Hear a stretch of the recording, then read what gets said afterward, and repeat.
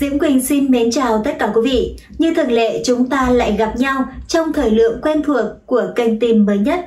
Ngay sau đây thì xin mời tất cả quý vị hãy cùng với Diễm Quỳnh đón xem những tin tức mới nhất, nóng nhất, những sự kiện nổi bật quan trọng diễn ra ở trong nước và quốc tế trong vòng 24 giờ qua. Nào, xin mời quý vị sẽ cùng vào chi tiết bản tin để điểm qua những nội dung nổi bật.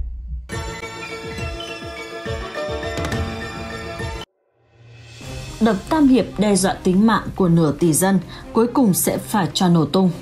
Mưa lớn ở miền Nam Trung Quốc, lũ lụt tràn lan ở lưu vực sông Trường Giang, mối lo vỡ đập Tam Hiệp đang trở thành chủ đề bàn tán khắp nơi. Ông Vương Duy Lạc, chuyên gia về đập Tam Hiệp nói rằng, nguy cơ vỡ đập Tam Hiệp vẫn luôn tồn tại và 500 triệu người sẽ không có nơi để trốn thoát. Giải pháp duy nhất là phá bỏ con đập. Tính từ đầu tháng, miền Nam Trung Quốc liên tục hứng chịu những trận mưa lớn, gây ra tai họa lớn cho 8,52 triệu dân tại 24 tỉnh Trung Quốc. Mấy ngày trước, Bộ Thủy lợi Đảng Cộng sản Trung Quốc đã tổ chức một cuộc họp báo và đưa ra lời cảnh báo. Năm nay, Trung Quốc có nguy cơ phải đối mặt với ba rủi ro lớn là lũ lụt vượt mức, rủi ro đập chứa nước và lũ quét. Theo Bộ Thủy lợi, tính đến nay 148 con sông đã ở mực nước vượt quá mức cảnh báo. Một số con sông xuất hiện lũ lụt vượt mức kỷ lục trong lịch sử.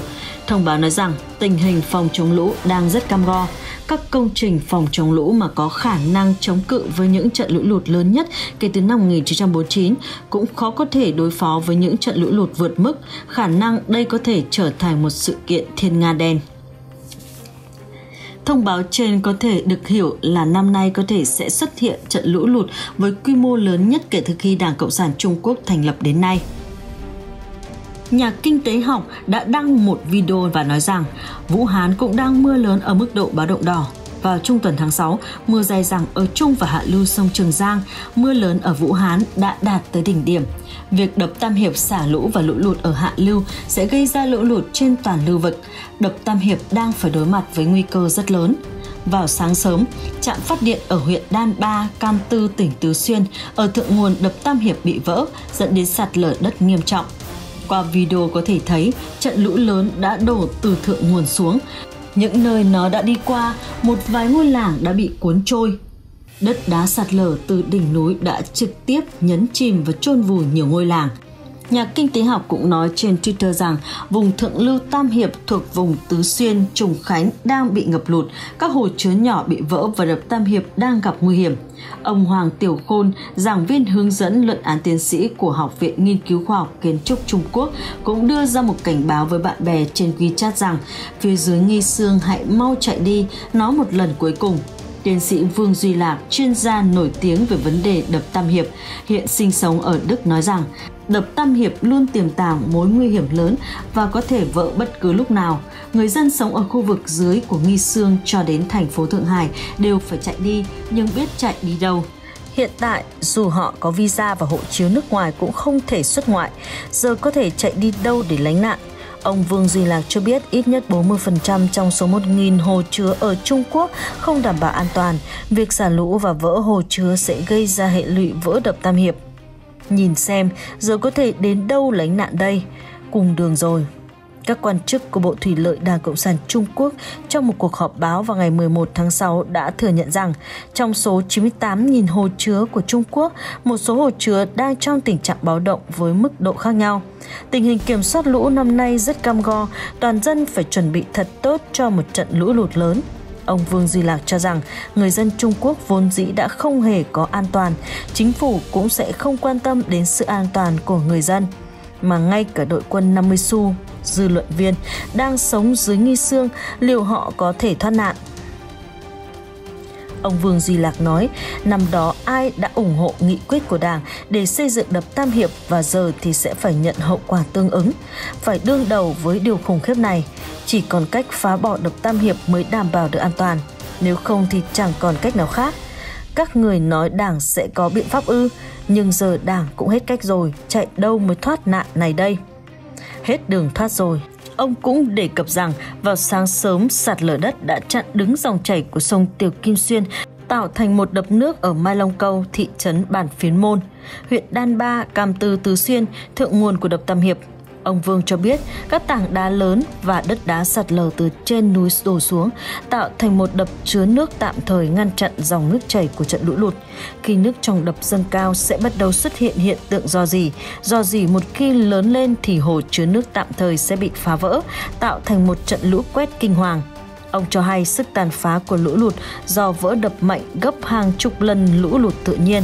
Nó tiến về phía trước như một cơn sóng thần. Vì vậy bất cứ nơi nào nó đi qua, nhà cửa hai bên ngay lập tức bị cuốn trôi và chìm trong biển nước. Ngoài ra, cây cầu đang xây trị giá hơn 140 triệu nhân dân tệ ở Tứ Xuyên cũng không thoát khỏi số phận bị cuốn trôi. Đó là do bộ phận xây dựng cầu đã không tính toán hợp lý các biện pháp để phòng chống lũ lụt.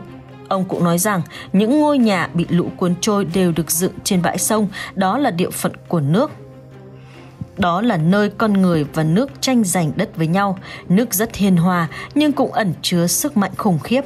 Nếu bạn đùa với nước, nó có thể cướp đi sinh mệnh của bạn. Trong 70 năm kể từ khi Đảng Cộng sản Trung Quốc lên nắm quyền, Đảng đã có thể kiểm soát mọi thứ rất nghiêm ngặt, nhưng lại không thể kiểm soát được nước. Cách trị thủy của Đảng chỉ là một đống đổ nát. Điều này chính là do chính sách của Đảng gây nên – Ông Vương tiết lộ, thượng nguồn của đập Tam Hiệp nguy hiểm hơn ở Hạ Lưu. Chính quyền Đảng Cộng sản Trung Quốc tuyên bố rằng đã hoàn thành công tác tái định cư ở thượng nguồn. Nhưng khu dân cư mà Đảng xây cho dân phải được dân xây lại vì tất cả chúng đều không đảm bảo an toàn. Trong trường hợp lũ lụt xảy ra, cả khu vực đó hoàn toàn sẽ bị nước lũ nuốt chừng. Ông cũng liệt kê các khu di cư mới được xây dựng trên khu vực sạt lở của đập Tam Hiệp như ở huyện Vũ Sơn, huyện Tỷ Quy, huyện Ba Đông, huyện Phượng Tiết, huyện Khai Châu và các khu vực dân cư khác. Các khu đều được xây ở vị trí có mực nước thấp hơn mực nước của đập Tam Hiệp. Khi lũ lụt xảy ra, người dân sống bên dưới sẽ rơi vào hoàn cảnh cực kỳ nguy hiểm. Ông Vương nhấn mạnh, đây không phải chuyện giật cân, chúng ta phải tìm biện pháp giải quyết con đập chứ không phải tìm cách tháo chạy. Mọi người lánh nạn nhưng có thể chạy đi đâu đây? hơn 4 500 triệu người đang sống trong trung và hạ lưu sông Trường Giang cùng đi lánh nạn thì căn bản là không có chỗ chứa. Đi lánh nạn không bằng phá bỏ toàn bộ con đập.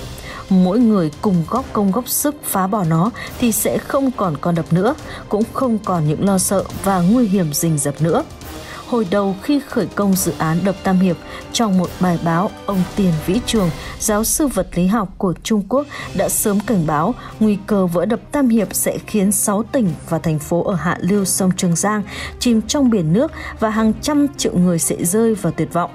Ông cho rằng đập Tam Hiệp cũng sẽ là mục tiêu uy hiếp của kẻ thù bên ngoài.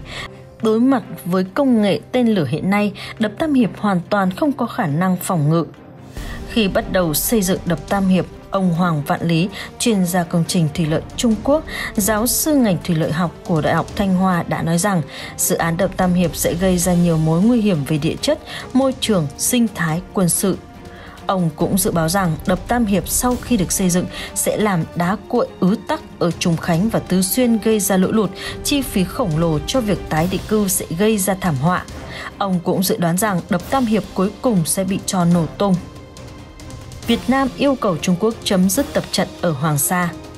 Việt Nam yêu cầu Trung Quốc tôn trọng chủ quyền của Việt Nam với quần đảo Hoàng Sa, chấm dứt và không tái diễn hành động tương tự làm phức tạp tình hình Biển Đông. Nêu quan điểm về việc Trung Quốc tập trận quân sự trong khu vực thuộc quần đảo Hoàng Sa, chiều nay, người phát ngôn Bộ Ngoại giao Lê Thị Thu Hằng khẳng định Việt Nam có đầy đủ bằng chứng lịch sử và cơ sở pháp lý để khẳng định chủ quyền của mình đối với quần đảo Hoàng Sa và Trường Sa phù hợp với luật pháp quốc tế.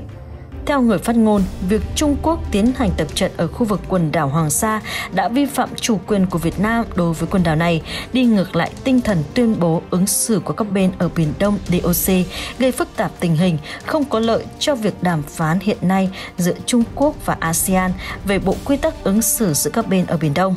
Người phát ngôn Bộ Ngoại giao nhấn mạnh Việt Nam yêu cầu Trung Quốc tôn trọng chủ quyền của Việt Nam đối với quần đảo Hoàng Sa, chấm dứt và không tái diễn hoạt động vi phạm tương tự làm phức tạp thêm tình hình ở Biển Đông. Cục Hải sự tỉnh Hải Nam Trung Quốc thông báo cấm tàu bè ra một khu vực rộng hơn 100.000 km vuông ở Bắc Biển Đông để phục vụ tập trận quân sự. Khu vực này bao phủ đến một nửa quần đảo Hoàng Sa của Việt Nam về việc Ấn Độ thông báo điều 4 tàu chiến đến Biển Đông tham gia các cuộc tập trận đa phương và song phương, trong đó có Việt Nam, Người phát ngôn cho biết chủ trương nhất quán của Việt Nam là các hoạt động trên biển của các quốc gia trong và ngoài khu vực cần tuân thủ đúng các quy định của Công ước Liên Hợp Quốc về luật biển UNCLOS năm 1982 đồng thời đóng góp có trách nhiệm cho việc duy trì hòa bình, ổn định, an ninh, an toàn, trật tự, thượng tôn pháp luật, hợp tác trên biển về lợi ích chung, phù hợp với nguyện vọng của các nước trong khu vực và cộng đồng quốc tế. Trung Quốc tập trận rầm rộ ở Tây Thái Bình Dương Giới quân sự Trung Quốc cho biết cuộc tập trận lần này diễn ra ở biển Celebes thuộc Tây Thái Bình Dương, nằm gần đường xích đạo. Video được kênh truyền hình CCTV cộng của Trung Quốc đăng tải cho thấy cuộc tập trận có sự tham gia của tàu hộ tống Thai 054A Liju, hai tàu hộ tống thuộc Thai 056A và tàu hậu cần Thai 903 Wei Shanyu. Nội dung tập trận gồm hơn 20 bài tác chiến bắn đạn thật. Trong đợt tập trận lần này, chúng tôi đã áp dụng nhiều bài tác chiến như mô phỏng các nhiệm vụ khẩn cấp hay các trận chiến ứng biến tình huống không được báo trước nhằm tìm ra những phương pháp huấn luyện xa bờ. Ông Ding Shimin, chỉ huy của tập trận nói, theo kênh CCTV Cộng, cuộc tập trận trên diễn ra trong bối cảnh Hải quân Trung Quốc gần đây tập trung vào việc huấn luyện binh sĩ sử dụng một loạt trang thiết bị mới, nhất là tàu chiến tại những vùng biển xa bờ.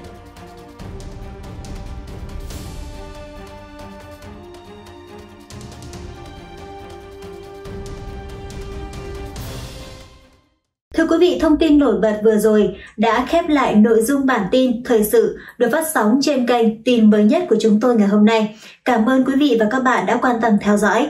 Trước khi rời đi, quý vị đừng quên nhấn like, chọn đăng ký theo dõi kênh và ấn vào tín hiệu quả chuông để cùng với chúng tôi cập nhật những thông tin quan trọng quý vị nhé. Còn bây giờ Diễm Quỳnh xin mến chào và hẹn gặp lại.